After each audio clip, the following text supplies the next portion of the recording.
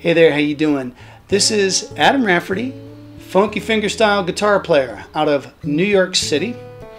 And my video today is uh, an answer to a question that I get constantly. And uh, I just kind of wanted to put it all out there. What kind of guitar do you play, Adam? Now, this might be obvious to some of you who are guitar freaks, but it's not obvious to everybody, so I just wanted to describe it. I'm going to give you the link. I'm going to describe my experience with it. This is a, I'm trying to get it all in the camera. This is a Maton, M A T O N, not Martin, Maton, Michael Fix model guitar. I believe it is EBG 808 C. And Maton is an Australian guitar company. And you might have heard of Tommy Emmanuel, Michael Fix, Joe Robinson, and plenty of other plenty of other people. Those are just the first guys that come to my mind. They play Maton guitars. And the question is, well, why do I play it? First of all, there's lots of videos. I'm, I'm on YouTube playing a couple different guitars that was sort of my quest, my search for a guitar that worked for me. Now, this is actually my backup. If you ever see the video where you have these nice two tones on the side, that's my backup guitar. Uh, my current, my main guitar is actually in the repair shop right now because I did percussion and cracked the whole side open. But they're set up exactly the same. I have two Michael Fix model guitars.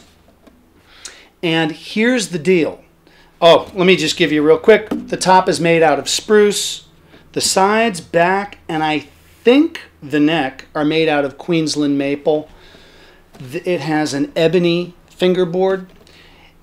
It has a cutaway, hence the 808C, because I like to play up high and this makes things easy. The 808 is just the Tommy Emmanuel model. Long story short, this is the best sounding plugged in guitar I've ever played. Um, the, the pickup system is called the AP mic. So there's an undersaddle bridge thing and a microphone, and I blend the two. It's just when I go on tour, I plug into a DI box on the floor, maybe a little bit of reverb, and within a few minutes, we're getting a great sound coming through the PA system.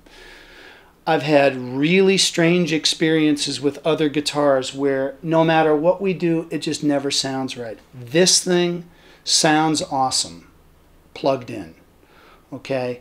So if you're a person that plays plugged in, this is a terrific, terrific choice. It's not the loudest guitar acoustically because it's not designed to be a big, boomy, resonant guitar because that would actually lead to a lot of feedback on stage.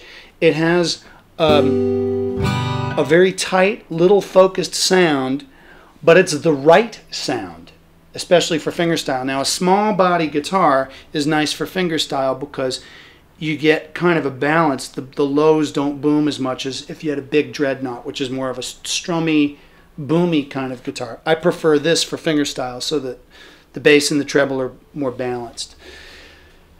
Here's the deal. Um, yeah, I'm a Maton artist.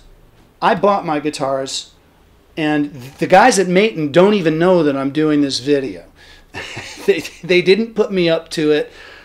I'm not getting anything, you know, for it.